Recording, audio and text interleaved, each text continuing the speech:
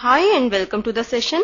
Let us discuss the following question. Question says, given that A vector dot B vector is equal to 0 and A vector cross B vector is equal to 0 vector, what can you conclude about the vectors A and B? Let us now start with the solution. Now we are given dot product of A vector and B vector is equal to 0. This implies A vector is perpendicular to B vector or A vector is equal to 0 vector or B vector is equal to 0 vector.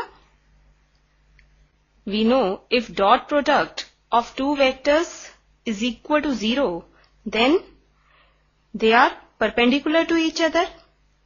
If they are not perpendicular to each other, then one of them is a 0 vector.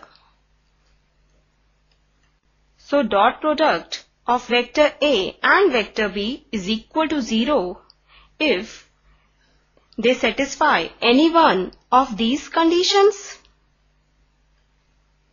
Now we are also given that cross product of A vector and B vector is equal to 0 vector.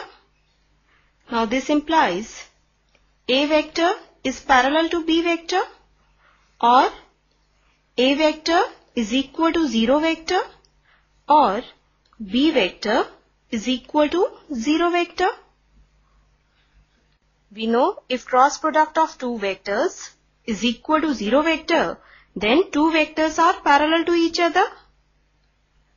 And if they are not parallel to each other, then either of them is equal to 0 vector. So, we can say cross product of these two vectors is equal to 0 vector if it satisfies any one of these three conditions. Now clearly we can see if vector A is not equal to 0 vector and vector B is also not equal to 0 vector, then vector A cannot be perpendicular and parallel to the B vector.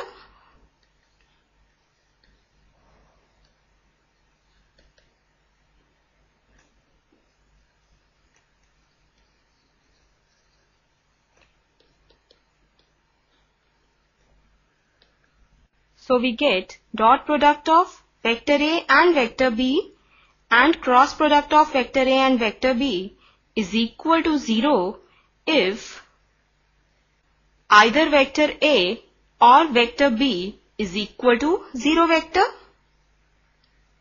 So we can write A vector dot B vector is equal to 0 and A vector cross B vector is equal to 0 vector if vector A is equal to 0 vector or vector B is equal to 0 vector.